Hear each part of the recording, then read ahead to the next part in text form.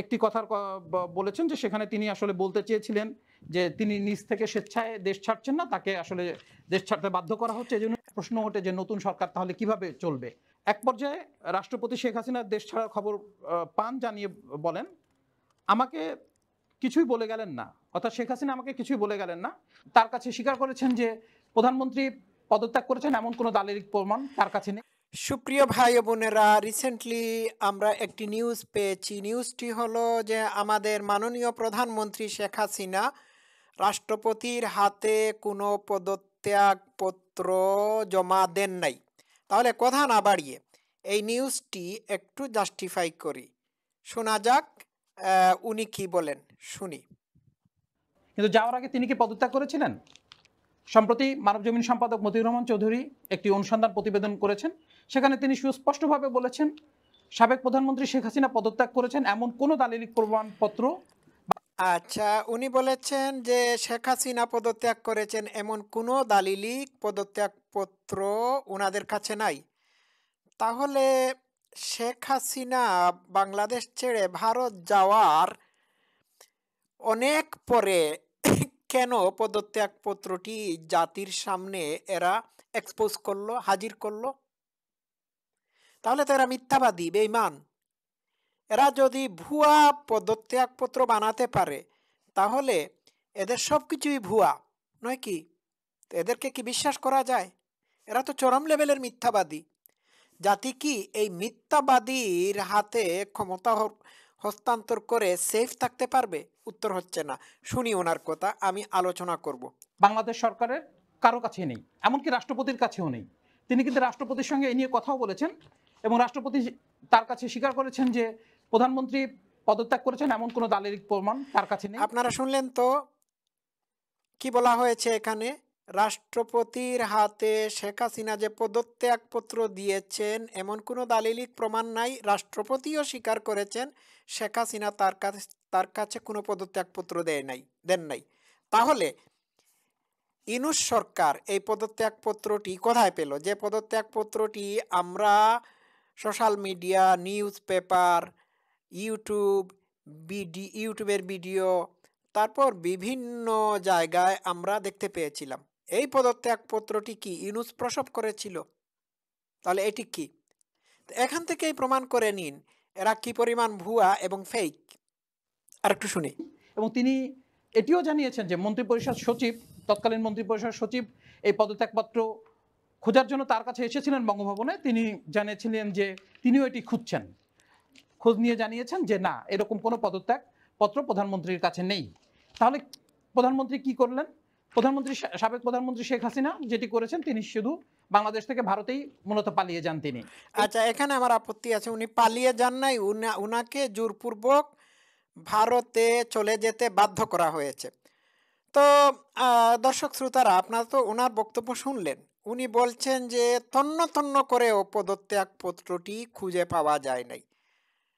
তাহলে শেখ হাসিনা ভারতে যাওয়ার পর, অনেক দিন পর যে পদত্যাগ পত্রটি আমরা দেখলাম, এটি থেকে আসলো? তাহলে আমরা যে এই পদত, এই ফেক বা ভুয়া পদত্যাগ পত্রটি নিয়ে কথা বলেছিলাম, সেটি যে সত্য বলেছিলাম আজকে তা প্রমাণিত হলো। তো যারা ভুয়া পদত্যাগপত্র বানায়, তারা তো আপাদমস্তক ভুয়া। ঠিক না? আচ্ছা আরেকটু শুনি। এই সময়ের মধ্যে তিনি কারও কাছে এটি পদত্যাগপত্র জমা দিয়েছিলেন কিনা, যেহেতু কোনো গুরুত্বপূর্ণ মহলের কাছে এই পদত্যাগপত্র নেই, স্বাভাবিকভাবেই ধারণা করা হচ্ছে যে তার কাছে কোনো জায়গাতে তিনি হয়তো পদত্যাগপত্র না দিয়েই তিনি ভারতে চলে যান। এবং এই ব্যাপারে কিন্তু তার ছেলে সজীবদের জয় তিনি যুক্তরাষ্ট্র থেকে একটি ভিডিও বার্তাতে বলেছিলেন যে তার মা পদত্যাগ করেন নাই। যদিও এটি নিয়ে তখন অনেক আলোচনা হয়েছিল ঠিক আছে জয় তো ঠিকই বলেছেন। উনি তো ভালো জানার কথা। উনি তো ঠিকই বলেছেন যে ওনার মা শেখ হাসিনা পদত্যাগপত্র করে নাই। ঠিক না? আরেকটু শুনি। সেনাপ্রধান জেনারেল ওয়াকরুজ্জামান কিন্তু পাঁচ আগস্ট বলেছিলেন যে প্রধানমন্ত্রী পদত্যাগ করেই করেছেন। কিন্তু যেহেতু পদত্যাগপত্রের কোনো কাগজপত্র এখন পর্যন্ত নাই তাই স্বাভাবিকভাবে এটি দালিলিক প্রমাণ নাই বলেই মতিউর রহমান চৌধুরী তার আহ, প্রতিবেদনে উল্লেখ করেছেন। মতিউর রহমান বলছেন যে রাষ্ট্রপতি তাকে বলেছেন, তিনি শুনেছেন যে শেখ হাসিনা প্রধানমন্ত্রীর পদ থেকে পদত্যাগ করেছেন। আচ্ছা রাষ্ট্রপতি শুনেছেন শেখ হাসিনা পদত্যাগ করেছেন, এটি একটি কথা হলো? রাষ্ট্রপতি শুনবেন কেন? পদত্যাগপত্র তো রাষ্ট্রপতির হাতের কাছেই তো মানে হস্তান্তর করা উচিত। এটাই তো সংবিধান বলে থাকে, নয় কি? এখন রাষ্ট্রপতি শুনবেন কেন? রাষ্ট্রপতির হা- হাতে তো পদত্যাগপত্র জমা দেওয়ার কথা। এটি তো নিয়ম এটি তো প্রসিজার তো it doesn't make sense at all তাহলে বোঝা যাচ্ছে যে বাংলাদেশের মানুষ শোনা কোথায়? শোনা কোথায় কাজকর্ম করে থাকে? অর্থাৎ গুজবে বিশ্বাস করে থাকে।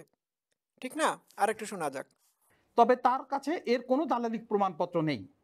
রাষ্ট্রপতি মতিউর রহমান চৌধুরীকে বলেন পদত্যাগপত্র সংগ্রহ করার বহু চেষ্টা করে আমি ব্যর্থ হই।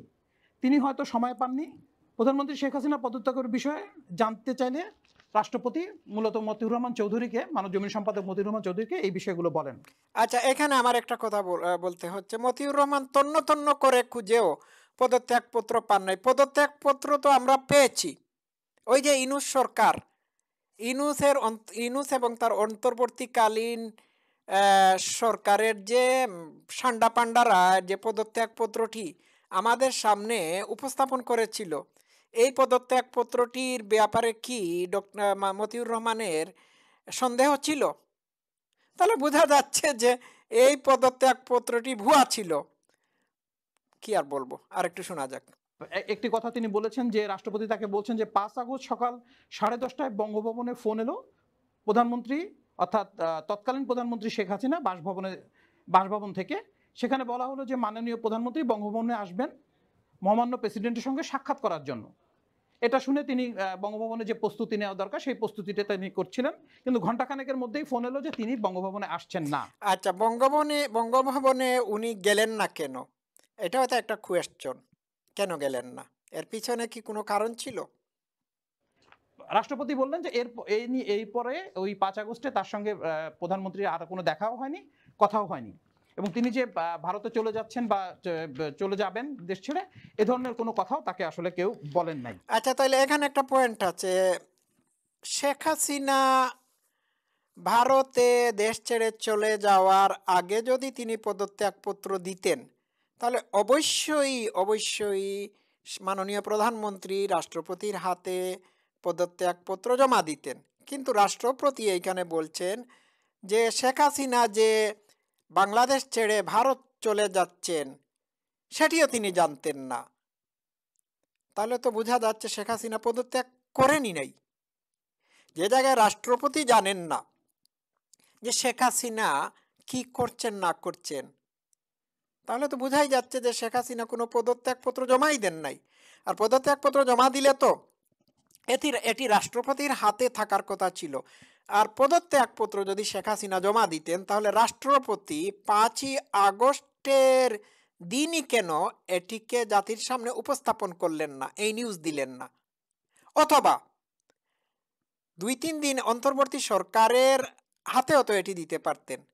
আর অন্তর্বর্তীকালীন সরকারের সদস্যরা শপথ নেওয়ার আগে অবশ্যই পদত্যাগপত্রটির ব্যাপারটি কনফার্ম করা উচিত ছিল।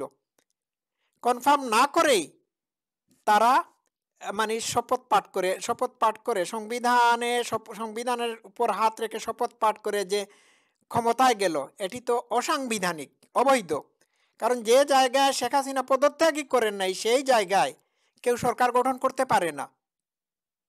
আর রাষ্ট্রপতি বা কেন অন্তর্বর্তীকালীন সরকার গঠনের সুযোগ দিলেন? তার উপর নিশ্চয়ই চাপ ছিল। না হলে এটি করতেন না। শোনা যাক আর একটু শুনি। এক পর্যায়ে রাষ্ট্রপতি শেখ হাসিনার দেশ ছাড়ার খবর পান জানিয়ে বলেন, আমাকে কিছুই বলে গেলেন না। অর্থাৎ শেখ হাসিনা আমাকে কিছুই বলে গেলেন না। যা সত্য তাই আপনাকে। অর্থাৎ মতিউর রহমানকে তিনি বলছেন যে, যা সত্য তাই আমি আপনাকে জানাচ্ছি। যাই হোক, সেনাপ্রধান জেনারেল ওয়াকার যখন বঙ্গভবনে এলেন, তখন জানার চেষ্টা করেছি প্রধানমন্ত্রী পদত্যাগ করেছেন কিনা। একই জবাব, শুনেছি তিনি পদত্যাগ করেছেন। মনে হয় শুনেছি তিনি পদত্যাগ করেছেন। অদ্ভুত ব্যাপার। শুনেছি। শোনা কথায় আমাদের দেশের মানুষ বিশ্বাস করে। শোনা কথায়, হুম, একটা সরকার গঠন হয়ে যায়। এটা কি ছেলে খেলা? হ্যাঁ? সে সময় পাননি জানানোর। অর্থাৎ প্রধানমন্ত্রী সেটি জানানোর মতো সময় পাননি বলেই তিনিও ওয়াকারুজ্জামানকে কাছ থেকে তথ্য তিনি পেয়েছিলেন। সবকিছু যখন নিয়ন্ত্রণ এলো, তখন একদিন মন্ত্রিপরিষদ সচিব এলেন পদত্যাগপত্রের কপি সংগ্রহ করতে। তাকে বললাম আমিও খুঁজছি। বিষয়টি নিয়ে আচ্ছা তিনিও খুঁজছিলেন কিন্তু পদত্যাগপত্র পান নাই। এখন বুঝতে পারতেছেন তো একেবারে ক্লিয়ার হয়ে গেল ইনুসের সরকার অসাংবিধানিক এবং অবৈধ। আমি প্রমাণ করব একটু পরে। কখনো যাতে এ নিয়ে প্রশ্ন না ওঠে জন্য তিনি সুপ্রিম কোর্টের মতামত জানতে চেয়েছিলেন। প্রশ্ন ওঠে যে নতুন সরকার তাহলে কীভাবে চলবে? তখন রাষ্ট্রপতি যেহেতু তার কাছে কোনো পদত্যাগপত্র ছিল না তিনি এটির জন্য একটা মতামত নেওয়ার জন্য তিনি সুপ্রিম কোর্টের কাছে একটি আচ্ছা সুপ্রিম কোর্টের কাছে গিয়ে কি মতামত নিলেন? আর একটু শুনি। সুপ্রিম কোর্ট যেটি বলে সেটি হচ্ছে যে সাংবিধানিক শূন্যতা দূর করতে এবং নির্বাহী বিভাগ সুষ্ঠুভাবে পরিচালনার জন্য একটি অন্তর্বর্তীকালীন সরকার গঠন করা যেতে পারে। মানে সুপ্রিম সুপ্রিম কোর্টকে এই অথরিটি কে দিল এটি বলার জন্য যে সাংবিধানিক সংকট দূর করার জন্য একটি অন্তর্বর্তীকালীন সরকার গঠন করা যেতে পারে? এটা কেন বলবে? তাহলে এখানে দেখা যাচ্ছে যে সুপ্রিম কোর্ট সংবিধানের নিয়ম নীতি ধারা উপধারাকে ভায়োলেট ভায়োলেট করে ভায়োলেট করে অন্তর্বর্তীকালীন সরকার গঠন করার উপদেশ দিয়েছে। এবং সুপ্রিম কোর্ট বলেছে করা যেতে পারে, নিশ্চিত করে বলে নাই। তো এটি কেন? এটি কেন আমাকে বলুন? কীভাবে সুপ্রিম কোর্ট এই কাজটি করতে পারে? কীভাবে সুপ্রিম কোর্ট উপদেশ দিল? আমাকে বুঝান তো দেখি। শেখ হাসিনা পদত্যাগ করেন নাই, অথচ সুপ্রিম সুপ্রিম কোর্ট সাংবিধানিক নিয়ম কানুনকে ভঙ্গ করে ভঙ্গ করে নির্দেশ নির্দে- নির্দেশ দেয় নাই, উপদেশ দিয়েছে সাজেস্ট করেছে যে অন্তর্বর্তীকালীন সরকার গঠন করা যেতে পারে। এটা তো জঘন্য অপরাধ করেছে। কোন কারণে করল? শেখ হাসিনা যখন পদত্যাগই করেন নাই করেন নাই সেই জায়গায় কীভাবে একটি অন্তর্বর্তীকালীন সরকার গঠন করা গেল? তো শেখ হাসিনা ভারত চলে গেছেন। এই চলে যাওয়াতে কি কেউ ক্ষমতা দখল করতে পারে? উত্তর হচ্ছে না। উনি তো পদত্যাগ করে যান নাই, তাহলে ক্ষমতা দখল করার কোনো প্রশ্নই উঠে না বা সরকার গঠন করার কোনো প্রশ্নই উঠে না। ক্ষমতা দখল আমি ভুল বলছি। সংসার সরকার গঠন করার কোনো প্রশ্নই উঠে না। এখন ইনুস যদি আমেরিকাতে আমেরিকাতে চলে যায়, পদত্যাগ না করে চলে যায়, তাহলে কি ইনুসের চান্ডা সান্ডা পান্ডারা বলবে বলবে বলবে যে উনি পদত্যাগ করে চলে গেছেন হ্যাঁ অতএব আমরা আরেকটা সরকার গঠন করে ফেলি। এটা বলতে পারবে? উত্তর হচ্ছে না। ঠিক আছে? আরেকটু আরেকটু শোনা যাক। অর্থাৎ সুপ্রিম কোর্ট থেকে এই নির্দেশনা পাওয়ার পরেই মূলত রাষ্ট্রপতি অন্তর্বর্তী সরকার অর্থাৎ ডক্টর ইউনুসকে অন্তর্বর্তী সরকারের প্রধান উপদেষ্টা এবং অন্যান্য উপদেষ্টাদের কিন্তু তিনি শপথ পড়ান এবং এই সরকার সেভাবেই এখন পর্যন্ত দায়িত্ব পালন করে যাচ্ছে। পাশাপাশি আরেকটি বিষয় মতিউর রহমান চৌধুরী উল্লেখ করেছেন যে প্রধান সাবেক প্রধানমন্ত্রী ভারতে যাওয়ার আগে একটি জাতির উদ্দেশ্যে বক্তব্য দিতে চেয়েছিলেন যেটি আসলে আর প্রচার করা হয়নি। সেখানে হয়তো তিনি কেন এটি প্রচার করতে কেন দেওয়া হয় নাই? আর তাকে বলার সুযোগই বা কেন দেওয়া হয় নাই? দিস ইজ ভেরি সাসপিশিয়াস বুঝতে পারছেন? যে কপিটা তিনি বক্তব্যের কপিটা তিনি করেছিলেন সেখানে তিনি একটি কথার বলেছেন যে সেখানে তিনি আসলে বলতে চেয়েছিলেন যে তিনি নিজ থেকে স্বেচ্ছায় দেশ ছাড়ছেন না তাকে আসলে দেশ ছাড়তে বাধ্য করা হচ্ছে এজন্য ওয়েল ডান উনি বলেছে বলতে চেয়েছিলেন যে তিনি স্বেচ্ছায় দেশ ছাড়তে চাচ্ছেন না তাকে জোর করে দেশ থেকে দেশ থেকে দেশ থেকে অন্য দেশে চলে যেতে বাধ্য করা হচ্ছে ভারতে চলে যেতে বাধ্য করা হচ্ছে। আচ্ছা আরেকটু শুনি তারপর আমি এটির আলোচনা করব। নতুন দেশ ছাড়ছেন পাশাপাশি তিনি সরকারের কিছু উন্নয়নের বর্ণনা দিতে চেয়েছিলেন জনগণের উদ্দেশ্যে বলে তিনি তার বক্তব্য আচ্ছা ঠিক আছে। এইবার আসি আমি সংবিধান নিয়ে হুম? আমি সংবিধানের গণপ্রজাতন্ত্রী বাংলাদেশের বাংলাদেশ সংবিধানের দ্বিতীয় পরিচ্ছদের সরি দ্বিতীয় পরিচ্ছদের সাতান্ন সাতান্ন অনুচ্ছেদের পুরো ক, খ এবং ঘ। ক, খ, গ, আমি পড়ে শোনাই। আচ্ছা এখানে কি বলা হয়েছে দেখুন? ক ক অনুচ্ছেদে বলা কয়ে বলা হয়েছে আচ্ছা উপরের অংশ পড়ি। প্রধানমন্ত্রীর পদ শূন্য হইবে যদি খ তিনি কোনো রাষ্ট্রপতির নিকট পদত্যাগ পত্র প্রদান করেন। তাহলে প্রধানমন্ত্রীর পদ কি শূন্য হয়েছে? উত্তর হচ্ছে না। প্রধানমন্ত্রী শেখ হাসিনা রাষ্ট্রপতির নিকট কোনো পদত্যাগ পত্র প্রদান করেন নাই এবং এটি শাহাবুদ্দিন চুপ্পু স্বীকার করেছেন। তাহলে আমাদের প্রধানমন্ত্রী যেহেতু পদত্যাগ করেন নাই, এর স্বীকারোক্তিটি মিলেছে শাহাবুদ্দিন চুপ্পুর কথাতেই। সেই হেতু উনা, উনি এখনও বাংলাদেশের বৈধ প্রধানমন্ত্রী। আচ্ছা খ, খতে বলা খতে বলা হয়েছে, তিনি সংস তিনি সংসদ সদস্য যদি না থাকেন, শেখ হাসিনা কি সংসদ সদস্য ছিলেন না? উত্তর হচ্ছে তিনি সংসদ সদস্য। হ্যাঁ? তো যদি বুঝতাম যে মাননীয় প্রধানমন্ত্রী শেখ হাসিনা সংসদের সদস্য না হয়েই প্রধানমন্ত্রী হয়ে গেছেন, তাহলে বোঝা যেত। আচ্ছা দুইয়ে বলা হয়েছে কি, সংসদের সংখ্যাগরিষ্ঠ সদস্যের সমর্থন হারাইলে প্রধানমন্ত্রী পদত্যাগ করিবেন। তাহলে শেখ হাসিনা কি সংসদের সংখ্যাগরিষ্ঠ সদস্যদের সমর্থন হারিয়েছিলেন? উত্তর হচ্ছে না। কিংবা সংসদ ভাঙ্গিয়া দিবার জন্য লিখিতভাবে রাষ্ট্রপতিকে পরামর্শ করিবেন। তিনি কি সেটি করেছেন? উত্তর হচ্ছে না। এবং তিনি অনুরূপ পরামর্শ দান করিলে রাষ্ট্রপতি অন্য কোনো সংসদ সদস্য, সংসদের সংখ্যাগরিষ্ঠ সদস্যের আস্থাভাজন নহেন এই মর্মে সন্তুষ্ট হইলে সংসদ ভাঙ্গিয়া দেবেন। এইরকম কি, এইরকম কোনো পরিস্থিতির সৃষ্টি হয়েছিল? উত্তর হচ্ছে না। তিন প্রধানমন্ত্রী প্রধানমন্ত্রীর উত্তরাধিকারী কার্যভার গ্রহণ না করা পর্যন্ত প্রধানমন্ত্রীকে স্বীয় পদে বহাল তাকিতে এই অনুচ্ছেদের এই অনুচ্ছেদের কোনো কিছুই অযোগ্য করিবে না। প্রধানমন্ত্রীর উত্তরাধিকারী কার্যগ্রহণ না করা পর্যন্ত। প্রধানমন্ত্রীর কোনো উত্তরাধিকার, উত্তরাধিকারী কি কার্যগ্রহণ করেছিল? উত্তর হচ্ছে না।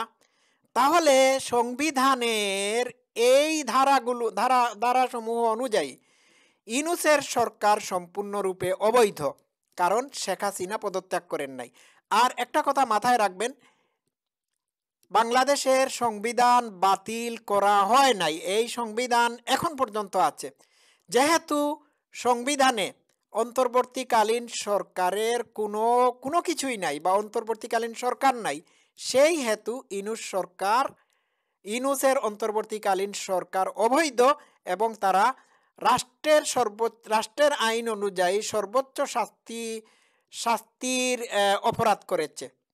ঠিক আছে? তো এখনও শেখ হাসিনা বাংলাদেশের বৈধ প্রধানমন্ত্রী।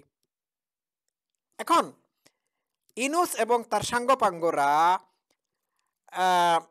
রাষ্ট্রপতি রাষ্ট্রপতি রাষ্ট্রপতি শাহাবুদ্দিন শাহাবুদ্দিন চুপ্পুর অধীনে সংবিধানকে সমুন্নত রাখার প্রতিশ্রুতি দিয়ে যে সাক্ষাৎকার নিল, তারা কি তারা কি সংবিধানকে সমুদ্র সমুন্নত রাখতে পেরেছে? সংবিধান তো এখনও অটুট রয়েছে।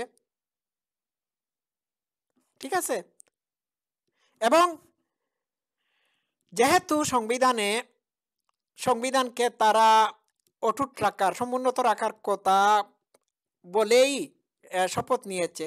সেই হেতু তারা সংবিধানকে সমুন্নত রাখতেই হবে। যদি না রাখে, তাহলে তারা অপরাষ্ট্র রাষ্ট্রের বিরুদ্ধে অপরাধ করেছে। কারণ সংবিধানে এখনও এখনও এই ধারাগুলো রয়েছে যে শেখ হাসিনা প্রধানমন্ত্রী পদত্যাগ করতে হবে রাষ্ট্রপতির কাছে। রাষ্ট্রপতি তো বলছেন শেখ হাসিনা পদত্যাগ করেনি নাই। এবং মতিউর রহমান তন্ন তন্ন করে খুঁজে এই পদত্যাগপত্র পান নাই। সেনাপ্রধানও পান নাই। শেষ পর, শেষ পর্যায়ে তারা বাধ্য হয়ে সংসদের ইয়ের ওই সুপ্রিম কোর্টের আশ্রয় নিয়েছে। সুপ্রিম কোর্ট তো অথরিটি না, ঠিক আছে? তো এই ইনুসের সরকার সম্পূর্ণরূপে অসাংবিধানিক, অবৈধ। আমি আর এই এই আলোচনাকে দীর্ঘায়িত করব না। তো যেহেতু শেখ হাসিনা এখনও বৈধ প্রধানমন্ত্রী আমরা উনাকে দেশে নিয়ে, দেশে ফিরে আনার ব্যবস্থা করতে হবে এবং উনি আবা- এখন আবার উনি উনার কার্যক্রম চালাবেন। আমি একটা কথা বলে রাখি। আগের সরকারের নিয়োগকৃত প্রধানমন্ত্রী, সরি, রাষ্ট্রপতি এখনও রয়েছেন, বহাল তবিয়তে আছেন। সেনাপ্রধানও আছেন। আগের সরকারের সংসদ বাতিল করে দেওয়া হয় নাই। সংসদের স্পিকারও, স্পিকার এখন পর্যন্ত আছেন। মানে সংসদ যেহেতু ভেঙে দেওয়া হয় নাই, সেই হেতু এই সংসদের কার্যকারিতা এখনও আছে। ইনুস সরকার তো এই সংসদকে ভাঙতে পারবে না। কারণ ইনুসের অন্তর্বর্তীকালীন সরকারের কেউই জনগণের দ্বারা নির্বাচিত না। সুতরাং তাদের কোনো এখতিয়ারই নাই। আজকে এই পর্যন্ত থাকুক। সবাই ভালো থাকবেন। Love you all. Thank you so much.